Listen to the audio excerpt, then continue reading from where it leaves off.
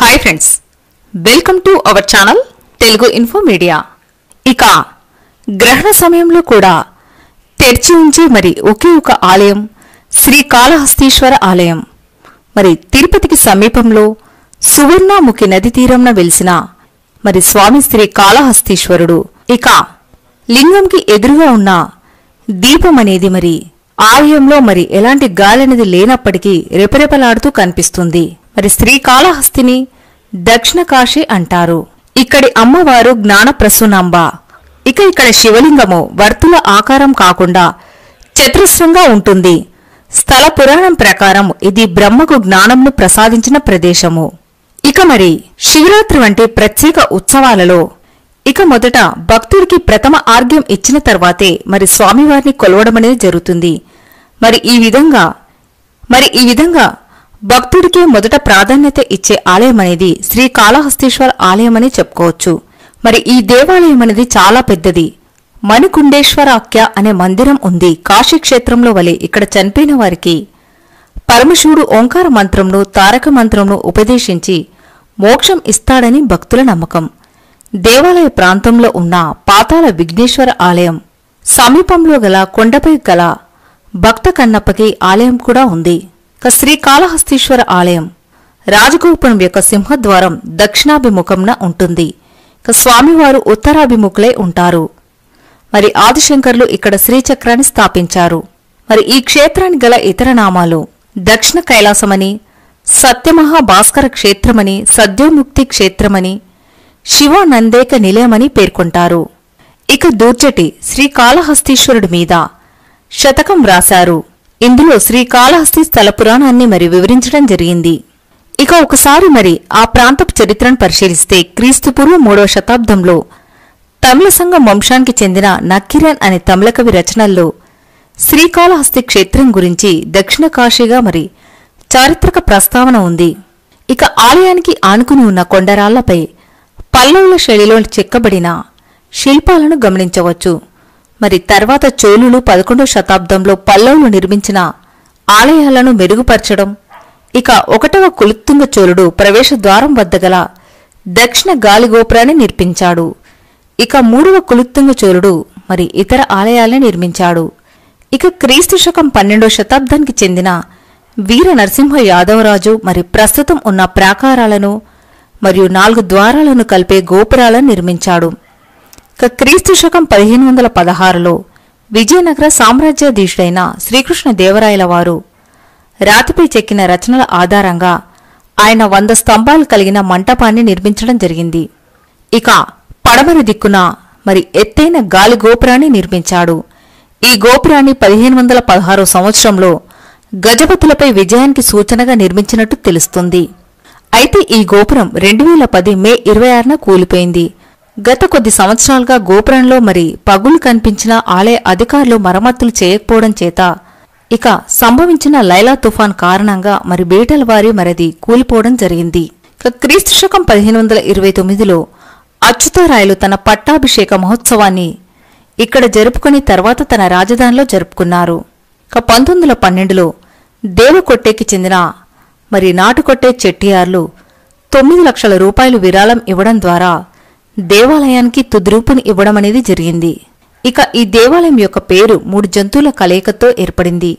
ఇక శ్రీ అనగా సాలీడు కాళ అనగా పాము హస్తి అనగా ఏనుగు. ఆ పేర్లతో శ్రీకాళహస్తిగా ప్రసిద్ధి చెందింది. స్వర్ణముఖి నది తీరంలో ఉన్న ఈ క్షేత్రము ఇక్కడ స్వర్ణముఖి నది పశ్చిమాభిముఖంగా ప్రవహిస్తూ ఉంటుంది. ఇక ఈ దేవాలయంలోని లింగము పంచభూత లింగంలో ఒకటైన వాయులింగము. ఇక ఈ దేవాలయం దేశంలోని అతిపెద్ద దేవాలయాల్లో ఒకటి. ఆలయం లోపల అమ్మవారి సన్నిధికి సమీపంలో గల ప్రదేశం నుంచి భక్తులు ప్రధాన గోపురాలను దర్శించవచ్చు. ఇక రాహుకేతు సర్పదోష నివారణకు పూజలు మరి ఈ ఆలయంలో విశేషంగా జరుగుతాయి. దేశం నలుమూల నుండి భక్తులు ఇక్కడ తమ దోష నివృత్తి కావించుకుంటారు. ఇంకా రుద్రాభిషేకం పాలాభిషేకం పచ్చకర్పూర అభిషేకం మొదలైన పూజలు కొనసాగుతాయి. ఇక శ్రీ కాళహస్తీశ్వర ఆలయ నిర్మాణంలో ఒక ప్రత్యేకత ఉంది. శ్రీ కాళహస్తీశ్వరుడు మరి జ్ఞాన ప్రసున్నంబ అమ్మవారు. మరి ఒక్కొక్కరు ఒక్కొక్క దిక్కుకు అభిముఖులే ఉంటారు. మరి ఈ ఆలయ దర్శనం ద్వారా చతుర్విధ పురుషార్థ సిద్ధి లభిస్తుందని అంటారు. ఇక పాతాల గణపతి ఉత్తరాభిముఖంగా జ్ఞాన ప్రసూనాంబ తూర్పుముఖంగాను కాళహస్తీశ్వరుడు పశ్చిమ ముఖంగా ఇక దక్షిణామూర్తి దక్షిణాముఖంగా ఉంటారు. కాళహస్తిలోని శివలింగం పంచలింగాలలో వాయులింగంగా ప్రసిద్ధి చెందింది. మరి ఇందుకు నిదర్శనంగా గర్భగుడిలోని కుడివైపున ఉన్న రెండు దీపాలు ఎప్పుడూ చలిస్తూ ఉంటాయి. ఆలయానికి నాలుగు దిక్కుల నాలుగు గోపురాలు ఉంటాయి. క నూట ఇరవై అడుగుల ఎత్తుగల రాజగోపురం. క జంగమ రూపుడైన శివుణ్ణి సేవించి తరించిన దేవదాసి దీన్ని కట్టించింది అంటారు. ఇక ఈ గోపుర నిర్మాణం యాదవ నరసింహరాయల కాలంలో జరిగిందని అంటారు. ఇక తూర్పు గోపురాన్ని బాల జ్ఞానాంబి గోపురం అని ఉత్తర గోపురాన్ని శివయ్య గోపురం అని పశ్చిమ దిక్కు గోపురాన్ని తిరుమంచన గోపురం అంటారు. ఇక మరి తిరుమంచన గోపురానికి కుడివైపున సూర్యపుష్కరిణి ఎడమవైపున చంద్ర పుష్కరిణి ఉంటాయి. ఇక స్వామివారి అభిషేకానికి మరి నీటిని సూర్యపుష్కరి నుండి తీసుకెళ్తారు. ఇక ఇక్కడ అనేక శివలింగాలు మహర్షులు లేదా దేవతలచే ప్రతిష్ఠింపబడినగా భావిస్తారు. భృగు మహర్షి అర్ధనారీశ్వర లింగాన్ని ఇక మరి అగస్త్యుడు నీలకంఠేశ్వర లింగాన్ని ఆత్రేయుడు మణికంఠేశ్వర లింగము ఇక వ్యాసుడు మరి ఇక మార్కండేయుడు మృత్యుంజయేశ్వర లింగము అంతేకాకుండా రాముడు పరశురాముడు ఇంద్రాది దేవతలు సప్త ఋషులు యమధర్మరాజు చిత్రగుప్తుడు ధర్మరాజు ప్రతిష్ఠించిన లింగాలనేవి ఉన్నాయి. ఇక వర్షాల కోసం మృత్యుంజయేశ్వరుడికి సహస్ర లింగాభిషేకం చేస్తారు. ఇక ఇక్కడ క్షేత్రపాలకుడు కాలభైరవుడు. అంతేకాకుండా మరి సుబ్రహ్మణ్య స్వామి సూర్య శని గ్రహమూర్తులు ఉన్నారు. ఇక వెంకటేశ్వర స్వామి వరదరాజస్వామి అంతేకాకుండా నిలువెత్తు కన్నప్ప విగ్రహం కూడా ఉంది. ఇక శంకరాచార్యుల వారి స్ఫటికలింగం అంతేకాకుండా అరవై నాలుగు నాయనార్ల లోహ విగ్రహాలు కూడా ఉన్నాయి. ఇక ఇది రాహుకేతు క్షేత్రమని ప్రసిద్ధి పొందింది. పుత్ర శోకానికి గురైన వశిష్ఠ మహర్షికి పరమేశ్వరుడు పంచముఖ నాగలింగేశ్వరుడిగా దర్శనమిచ్చాడట. ఈ నాగరూపంనే బ్రహ్మదేవుడు కూడా అర్చించాడట. మరి ఈ నాగరూపం కారణంగా ఈ క్షేత్రానికి రాహుకేతు క్షేత్రమనే పేరు వచ్చింది. సర్పదోషము మరియు రాహుకేతు గ్రహ దోషాల నుండి నివారణ కోసం ఈ స్వామిని పూజిస్తారు. ఇక స్వామి కవచము నవగ్రహ కవచమునకు అలంకారాలు చేస్తారు.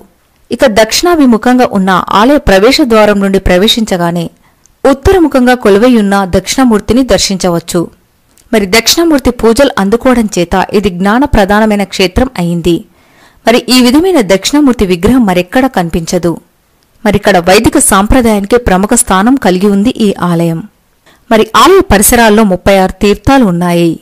శాస్త్రలింగాల తీర్థం హరిహర తీర్థం భరద్వాజ తీర్థం మార్కండేయ తీర్థం ఇక సూర్యచంద్ర పుష్కరిణులు దేవాలయంలోని పాతాల గంగా లేదా ఇక మూగ తీర్థంలోని తీర్థాన్ని సేవిస్తే మరి నత్తి మూగ లోపాలనేవి తొలగిపోయి వాక్ చాతుర్యం కలుగుతుంది అంటారు. ఇక ఆలయానికి సమీపంలో దుర్గాంబ కొండపై వెలిసిన దుర్గమ్మ అమ్మవారికి ఏటా నవరాత్రి ఉత్సవాలు ఘనంగా జరుగుతాయి.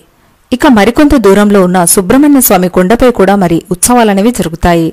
ధర్మరాజుల స్వామి తిరునాళ్ళు కూడా ఐదు రోజుల పాటు విశేషంగా జరుగుతాయి. ద్రౌపది అమ్మవారు ఇక్కడి ప్రత్యేక ఆకర్షణ ఈ ఉత్సవాల సమయంలో. మరి ప్రతిరోజు మహాభారత పారాయణం జరుగుతుంది. ఇక విరాట పర్వం చదివిన రోజు మరి పట్టణంలో ఖచ్చితంగా వర్షం అనేది కురుస్తుందని స్థానికులు విశేషంగా చెప్పుకుంటారు. మరి ఈ ఆలయంలో మరి భక్తుడికి మొదట ప్రాధాన్యత ఇవ్వడం అనేది జరిగింది. కన్నప్ప అనే వేటగాడు నిత్యం స్వామిని కొలుస్తుండేవాడు. మరి అతడి భక్తిని పరీక్షించడానికి స్వామి ఒకరోజు తన కంటి నుండి నెత్తురు కార్చాడట. వెంటనే కన్నప్ప తన కన్నును తీసి మరి స్వామి కంటికి అమర్చాడు. అప్పుడు స్వామి రెండవ కంటి నుండి కూడా నెత్తురు కారటం మొదలైంది. ఇక భక్తుడైన కన్నప్ప మరి వెంటనే తన రెండవ కన్ను కూడా స్వా- స్వామికి అర్పించాడు. మరి దీంతో స్వామి ప్రత్యక్షమై భక్తుణ్ణి కరుణించి మరి ముక్తిని ప్రసాదించాడు. ఇక అంతేకాకుండా మరి ఇక్కడ స్వామివారిని మరి సాలీడు పాము ఏనుగు పూజించి మోక్షాన్ని పొందాయి కాబట్టి ఈ క్షేత్రానికి మరి శ్రీకాళహస్తి అనే పేరు రావడం జరిగింది. ఇక మరి ఈ ఆలయాన్ని మరి గ్రహణ సమయంలో కూడా తెరిచి ఉంచడం అనేది ప్రత్యేకంగా చెప్పుకోవచ్చు. ఇక రాహుకేతు దోషాలను తొలగించే మరి ఆలయంగా ఎంతో ప్రసిద్ధిని చెందింది శ్రీకాళహస్తీశ్వర క్షేత్రం.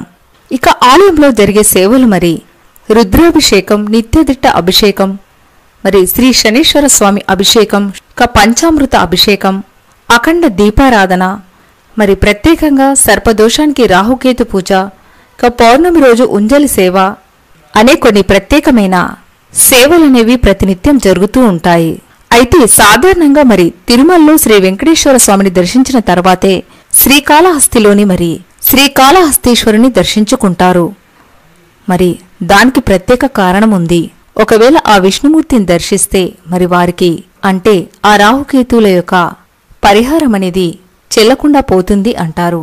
సో ఫ్రెండ్స్ తెలుసుకున్నారు కదా? మరి ఇలాంటి ఎన్నో ఆసక్తికరమైన అంశాలు తెలుసుకోవాలంటే please subscribe our channel Telugu info media for more interesting videos please stay tune with Telugu info media thanks for watching